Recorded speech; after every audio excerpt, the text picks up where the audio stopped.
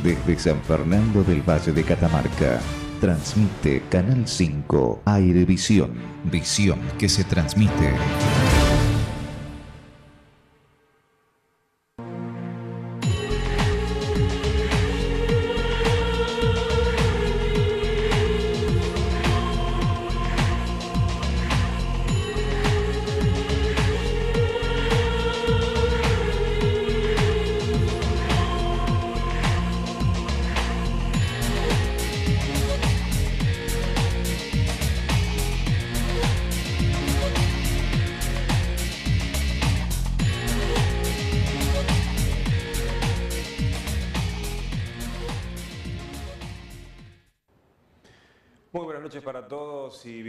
Pasaron algunos minutos de las 21 y aquí estamos un jueves más, ya casi sobre el final del mes de diciembre del año, eh, reencontrándonos en este espacio que hemos dedicado ya desde hace mucho tiempo a analizar y debatir la realidad de la provincia y con temas como también lo hicimos durante todo el año muy interesantes, anticipándoles que además este va a ser ya el último programa de este año 2014, la semana que viene es una semana eh, afectada directamente en la actividad por, eh, los festejos de la Navidad, y ya después la siguiente es el inicio del próximo año en el cual estaremos de vacaciones, así que fuimos casi hasta el límite eh, porque así lo demandaba la situación social, política de la, provincia y aquí estamos hoy jueves cumpliendo con, la propuesta de, todas las semanas. Tenemos para el día de hoy como eh, propuesta el conversar un poco en términos tal vez de balances y de proyectos eh, sobre la cuestión política, la cuestión legislativa, eh, tanto en el ámbito provincial como también en el ámbito municipal. Se están en estos momentos discutiendo cuestiones muy sensibles y profundas eh, que obviamente tienen repercusión directa en la, sociedad y que eh, requieren de gran agilidad y habilidad de gestión de parte de, los, de la clase política, mucha sensibilidad en un momento en el que el país atraviesa una situación bastante difícil. Así que vamos a hablar un poco de la actividad legislativa en la Cámara de Diputados, en la Cámara de Senadores y también en el Consejo Deliberante de la, de la capital. Para esto último que decimos, conversar un poco de lo que sucede en la capital, nos acompaña esta noche la concejal Jimena Herrera. Muy buenas noches y gracias por estar con nosotros. ¿eh? Buenas noches, Bueno, ya hoy visitándonos como concejal, y como presidenta del Consejo Deliberante. ¿no? La vez anterior nos había visitado todavía en una etapa previa a asumir las funciones, ya hoy es una casi una protagonista, si se quiere, del escenario legislativo municipal, ¿no? es otra cosa.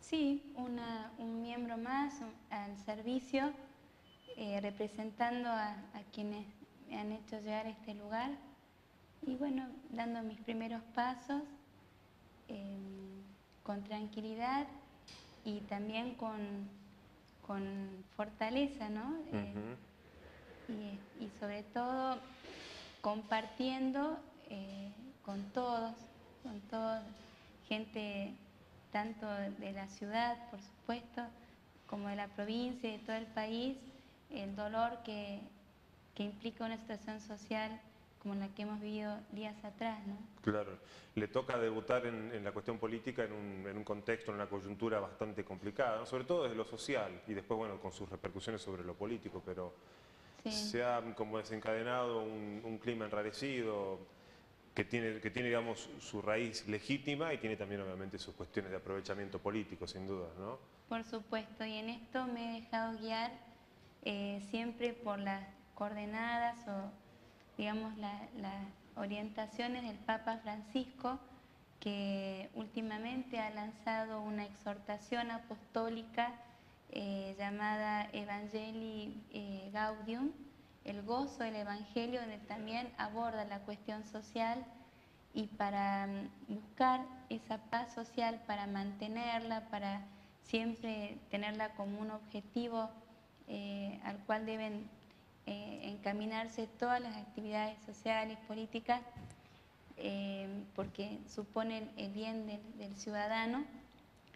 Eh, una de ellas es ver la importancia del todo sobre una parte, de la unidad sobre el conflicto y de la realidad que se impone sobre la idea. y, esto lo he vivido he tenido oportunidad de, bajarlo concretamente ante los reclamos de nuestros ciudadanos, de nuestros trabajadores, eh, por supuesto, eh, mediando, mediando porque uno, el político, también decía Bergoglio, es un mediador, no un intermediario, un mediador que supone em, comprometerse y ver más profundamente ¿no? las dos partes. Y les decía que lo hago desde mi sentimiento, es me siento eh, parte de esta clase obrera, esta clase sufrida, pero también eh, me siento con la misión de orientar, ¿no? Entonces, eh, ahí traía acotación, traía otra vez esa frase de, de Mamerto Esquiu, que está en el Consejo Deliberante, también figura en, muchas partes, obedecer, señores, obedezcan, ¿no? En este orden, no sin ley no hay orden, y, bueno, eh, siempre que este, promovamos este diálogo, este, esta confrontación sin violencia, se logra en los objetivos. Sí, sin duda que hay una, eh, una exacerbación de, de, la declamación de los derechos, ¿no? Y muchas veces es como que en esto también se va en detrimento del reconocimiento de los deberes, ¿no? Eh, siempre hay algo legítimo en los reclamos, pero las formas es como que terminan deslegitimándolo en algún sentido, tal vez, ¿no? Es lo que pasó en términos sociales en los últimos tiempos. Sí, diría a, los televidentes que siempre cuidemos el modo, porque no, podemos causar eh, daños y perjuicios al ambiente del que somos custodios, y mucho menos al ciudadano eh, del que todos estamos eh, responsables, somos responsables, sobre todo, tanto está diciendo últimamente con los derechos humanos, el primer derecho es no atentar contra la vida y, ha habido lamentablemente bajas, ¿no? Estas bajas han enlutado a todo el país. Claro. Entonces tiene que ser en un marco de, los reclamos siempre pacíficos. Eh, justo hoy a la, mañana conversábamos así medio brevemente en una entrevista eh, con, el, con Luis Purbanch, que venía de, entrevistarse con la gobernadora, y él hablaba bueno, de, una, de una especie de emergente de situaciones de desigualdad social, que son lógicas, o sea, las inequidades producen en algún momento este, tipo de, este tipo de reacciones, ¿no? lamentablemente. Eh, es, difícil gestionar, es difícil eh, me imagino que sobre todo desde lo político y lo público, el, gestionar en, escenarios de tanta desigualdad muchas veces, ¿no? Sí, seguro, estoy de acuerdo y he seguido también los mensajes del pastor diocesano donde llamaba a, un, a una eh, eh, búsqueda de la paz social como un valor fundamental que está por encima de todos los bienes y sobre todo nos alentaba a vivir de otro modo la democracia, ¿no? La democracia es, escuchar al pueblo y el pueblo exclamarse, expresarse en, forma que no atente contra el mismo pueblo. claro. ¿Cómo, fueron estos primeros, estos, primeros tiempos en, en, su relación, digo, dentro del ámbito, en un cuerpo donde tiene una interacción con, con los que son del mismo bloque, con los que son de otras fuerzas políticas, pero que conforman en general lo que es el Poder Legislativo Municipal. ¿Cómo, cómo lo eh, vivió? Gracias a Dios, em, tanto del bloque al que pertenezco como eh, de otros, otros colores políticos, eh, con mucha, digamos, camaradería, si se quiere, respeto, y bueno, seguramente hay, hay mucho para aprender también, ¿no? Riquezas de la experiencia que tienen ellos ya en su gestión y pueden ayudarme y entre todos buscar el, mejor logro de, los proyectos. Claro. Por supuesto. ¿Cómo fue, la, ¿Cómo fue el ofrecimiento para ejercer la presidencia? ¿Cómo fue ese, ese proceso, además de, de saber que tenía también el apoyo de, concejales de otros bloques, particularmente el bloque tercera posición, o sea, sí.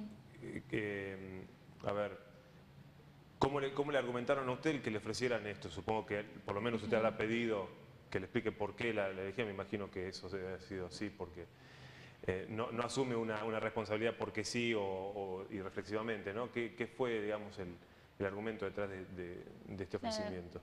Bueno, eso corresponde a un diálogo interno que ha habido y al cual acepté, acepté con, todas las consecuencias ¿no? que esto implica, mayor responsabilidad, tal vez mayor horas también de, dedicación, y, pero gracias a Dios estoy eh, llevándolo a cabo, estoy pudiendo y, bueno, eh, pienso seguir adelante. Eh, bueno, requiere toda una, toda una técnica que se llama la técnica legislativa. ¿Cómo, cómo está trabajando con eso? Porque hay todo un, es todo un protocolo también, ¿no? la cuestión, particularmente la, la de la sesión, ¿no? que requiere toda una gimnasia, todos modos y formas. Y de a ¿Cómo, poco, va con eso? poco a poco y bueno, pienso eh, estos días también de, de receso, dedicarme a, estudiar más y, a prepararme, ¿no? Para que ya no, no poder prescindir de, las ayudas, sino que eh, poder hacerlo con, mayor eh, agilidad. Eh, sin duda que una, digamos que una mirada o un enfoque como, como el que usted le da a la, actividad es, es, sin duda sumamente útil. Ahora, eh, ¿no siente que por ahí le, exigen u otros imponen lo, pragmático o piden resoluciones rápidas o que tal vez les moleste el que se haga un abordaje más desde lo filosófico, más desde lo espiritual de las cosas, que tal vez quieran ir más a los hechos en algunas cuestiones? ¿No, ha sucedido ese choque? Porque bueno, la política muchas veces es así, ¿no? Es una cuestión que, que devora prácticamente, ¿no? Eh, recién me habías preguntado lo del cuerpo, creo que nos complementamos, ¿no? Eh, hay quienes están más eh, capacitados para esta, lo pragmático y bueno, nosotros vamos como vertebrando y, cada, tendemos a que en una persona reunir ambas, ¿no? Pero también nos, nos vamos dando una mano en ese sentido. Pero bueno, el el que, el que está al frente, por así decirlo, es el que impone, en el buen, término del, en el buen sentido del término, el que impone los modelos de, gestión, ¿no? Porque es el que de, última en muchos casos tiene el poder de la decisión, por eso eh, me imagino que bueno, su impronta de gestión debe, debe ser también eh, en, en, ese camino. Sí, creo que en, en la, no he hecho proselitismo, pero era sabido cuál iba a ser. Así que eran este, no, nunca anuncié eh, algún estilo diferente, sino que dije que iba a seguir eh, desde haciendo política desde lo social y en este, eh, este momento que tengo un cargo público, que soy funcionaria, no olvidar aquello que dije, que estaría con un oído en el pueblo y otro en el Evangelio. ¿Tuvo que decir muchas veces que no ya en este Algunos no y algunos sí. Eso es lo que más me ha costado, pero aún para las actividades de, eh, que llevaba a cabo y que sigo llevando a cabo en el oratorio, uno aprende que también eh, el no a veces es señal de, amor, el límite, que reconozcan, también es pedagógico y a su vez eh, mostrar que uno no es omnipotente ni tampoco absoluto, tiene el, poder absoluto, sino eh, siempre hay, hay que ver este,